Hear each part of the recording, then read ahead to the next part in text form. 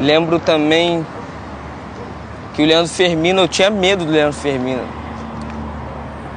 Que eles criaram tipo um medo para mim ter dele, para mim conseguir chorar e daí que foi minha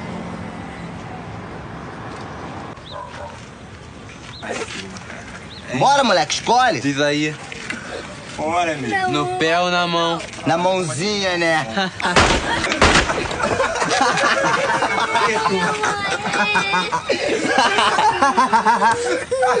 Valeu, pequeno, valeu.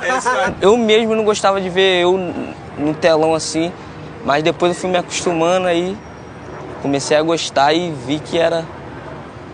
Eu tenho, tenho uma coisa pra falar, né? Já fiz o filme Cidade de Deus. Tomei um tiro no pé no filme, ah tá, você, pô, cena muito forte, todo mundo fala, pelo menos tem um, uma coisa pra relembrar do meu. Da minha infância. Bora, filhão, não tem o dia inteiro não, rapaz. Depois do Cidade de Deus, teve uma semana que ele estava em três emissoras, em novelas diferentes. Então, quer dizer, ele, tava, ele foi bem visado, né? Então, ele teve bastante trabalho.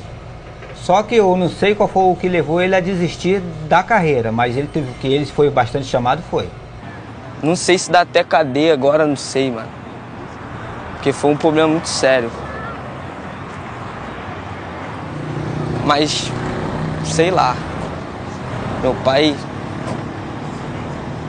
Aí eu meio que me desanimei de seguir a vida de ator.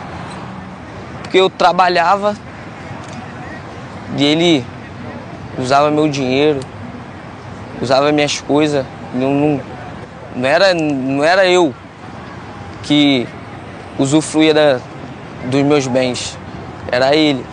Aí eu me revoltei e não, não quis mais seguir essa vida.